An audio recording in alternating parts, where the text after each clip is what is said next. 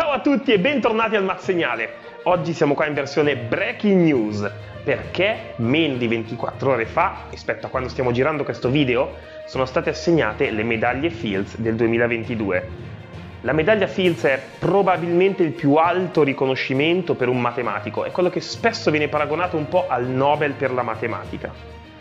Viene assegnato ogni 4 anni e solo a dei matematici sotto i 40 anni per importanti lavori nel proprio campo di ricerca o in generale per aver permesso un grande sviluppo in qualche ramo della matematica. Pensate che nel 2018, ultima volta in cui è stata assegnata la medaglia Fields, tra i vincitori c'era anche un italiano, Alessio Figalli. Ovviamente non è pensabile riuscire a portarvi i contenuti delle medaglie Fields di quest'anno perché sono lavori molto tecnici, ma cercando di rielaborare e basandoci su questi articoli che vi lasciamo in descrizione reperibili sul sito del DCM, abbiamo cercato di raccontarvi un po' il perché della scelta delle medaglie Fields di quest'anno. Pronti? Cominciamo!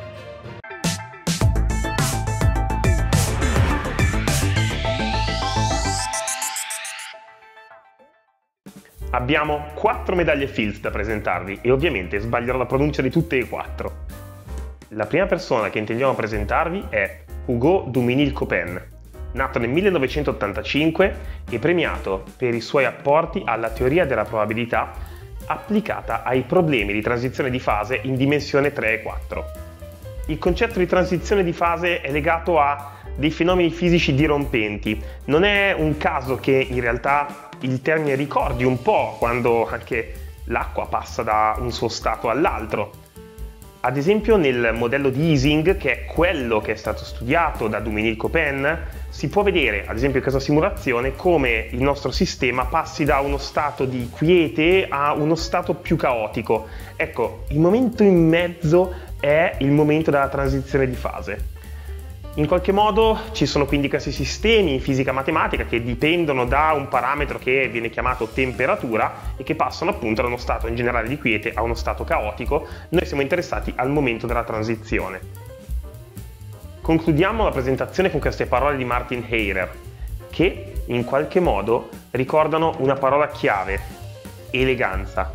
Anche il finale in cui si parla di questo libro è in qualche modo un riconoscimento a Paul Erdos, il quale sosteneva che ci fosse un libro con all'interno tutte le dimostrazioni più belle della matematica e che in qualche modo ogni tanto i matematici riuscissero a scorgerne qualche pagina e quindi quando viene fatta una dimostrazione particolarmente elegante si usa dire che questa dimostrazione è tratta direttamente dal libro.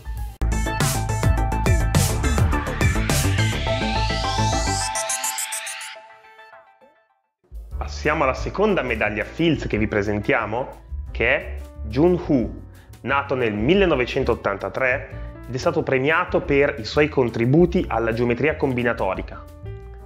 Per darvi un'idea, possiamo pensare intanto al concetto di geometria come magari ce l'avete in testa, come lo studio di alcune entità, punti, piani, rette, un po' nello standard di Euclide, o anche come i luoghi di zeri, per esempio una parabola, y uguale x quadro, o una sfera, squadro più y quadro più z quadro minore o uguale a 1.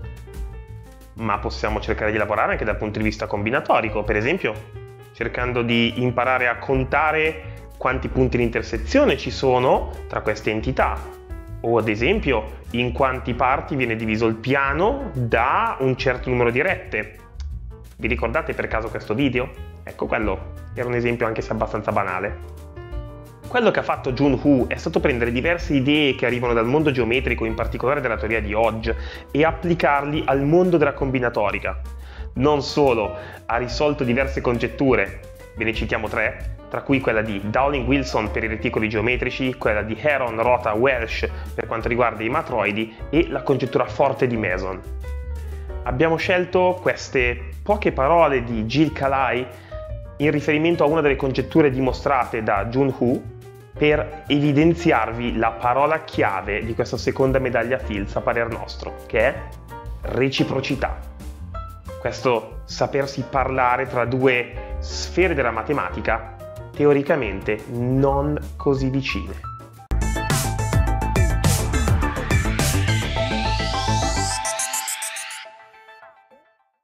Terza persona che vi presentiamo è James Maynard, nato nel 1987 e premiato per i suoi contributi nella teoria analitica dei numeri e in particolare per aver aiutato a comprendere meglio la struttura dell'insieme dei numeri primi. L'idea di base, per intenderci, è il buon vecchio crivello di Eratostene. Ve lo ricordate? Elencate tutti i numeri interi a partire dal 2 in realtà in avanti, create una tabellina di questo tipo, dopodiché segnate il 2 e cominciate a cancellare tutti i multipli di 2. Poi segnate il primo numero che non avete cancellato, che è il 3 in questo caso, e cancellate tutti i multipli di 3 che ancora non avete cancellato. Adesso andate avanti così, chiaramente il 4 è stato cancellato, quindi non lo considerate e considerate il 5 e cancellate tutti i multipli di 5 e così via alla fine quello che vi rimarrà sarà l'insieme dei numeri primi.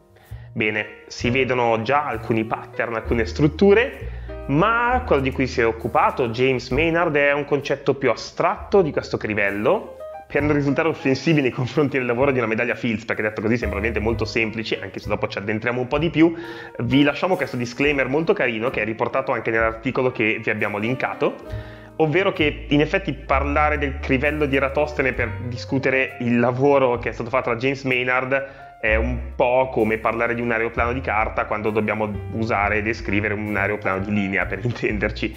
Però rende l'idea e in qualche modo eh, fa passare l'eleganza e la bellezza che sta sempre sotto i risultati che hanno a che fare con i numeri primi.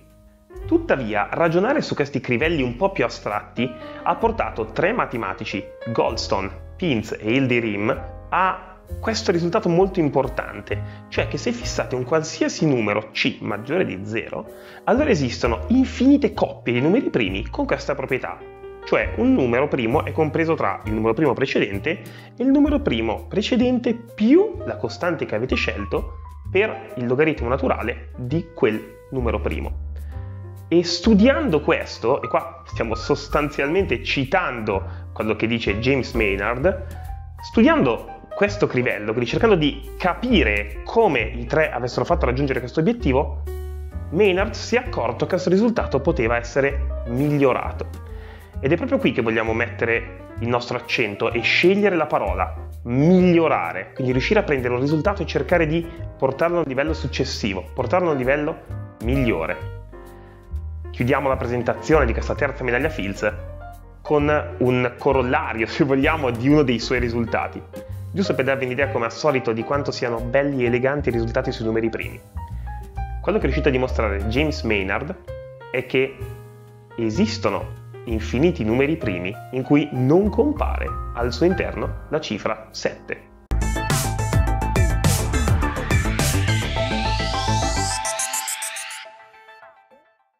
Quarta ed ultima medaglia Fields che vi presentiamo è Marina Viazovska, la quale ha ricevuto il premio per il suo lavoro alla teoria matematica sull'impacchettamento di sfere, ovvero quella teoria che si occupa di trovare il modo di disporre delle sfere identiche in modo che non si sovrappongano e che occupino il minor spazio possibile. Occhio che siamo tra matematici, quindi quando si parla di sfere non si parla necessariamente della sfera tridimensionale, ma si può parlare della sfera in 2D, che di fatto è la circonferenza o il cerchio se la considerate piena, o in 1D o in numeri di dimensioni ancora maggiori. Può sembrare banale come cosa agli occhi di una persona che non è all'interno di questo tipo di lavori, ma per prima cosa notate la grossa differenza tra ipotizzare che una certa disposizione sia quella ottimale e dimostrare che effettivamente è così, cioè che tra tutte le possibili disposizioni quella è quella migliore. Pensate che prima del lavoro di Marina Viazovska era conosciuta la soluzione solo per dimensioni 1, 2 e 3. I suoi lavori hanno permesso di risolvere questo problema in dimensione 8 e 24, ma occhio, non pensate che questa cosa sia la classica cosa astratta da matematici che non ha nessuna attinenza con la realtà. No, fermi, perché ci sono molti problemi, ad esempio relativi agli algoritmi di correzione di errori nelle trasmissioni, che si basano proprio sull'impacchettamento di sfere in dimensione maggiore di 3. È sempre bello vedere come ci sia questo ponte tra la realtà e quella che è la matematica che normalmente viene definita astratta, o come se fosse un po' fine a se stessa. Per darvi un'idea dell'importanza e della difficoltà del lavoro, vi lasciamo con due frasi. La prima è di Harry Cohn che ci dà un'idea dell'importanza, oltre che della bellezza del lavoro appena fatto. La seconda di Thomas Hales cita forse un mostro sacro della matematica come necessario per arrivare a un lavoro del genere. E quindi forse più che una parola che racchiuda questo lavoro, eh, possiamo in qualche modo dire una frase, cioè che anche questi mostri sacri della matematica che sono sempre visti come inarrivabili, come ok ci sono stati una volta, non ci saranno mai più, forse non è poi così vero. Forse ancora oggi abbiamo delle persone che riescono a fare lo stesso.